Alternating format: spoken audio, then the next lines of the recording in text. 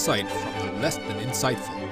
Today, we have a few very special guests. We've got the President of the United States of America, George W. Bush, a monkey, and Paris Hilton. Thank you. Thank you for being here. You may talk now. Thank you for having me, Poe.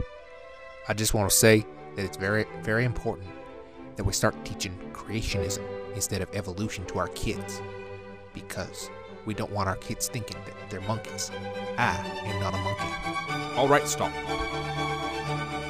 Now, to counter your point here, we have someone else.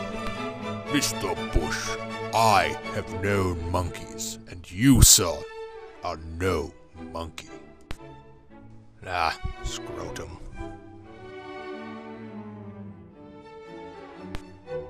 Hello, Paris. Are you high? a little. Oh, of course, of course, you contemptuous harpy. Haha. Is that a kind of gum? No. Now shut up. All right then. Well, I feel soiled. Well, the next logical step from showing you Paris is to show you some boobies. We'll do that as I close the show. I am going to go do something useful, like licking my fuzzy little nuts. Thank you and good night.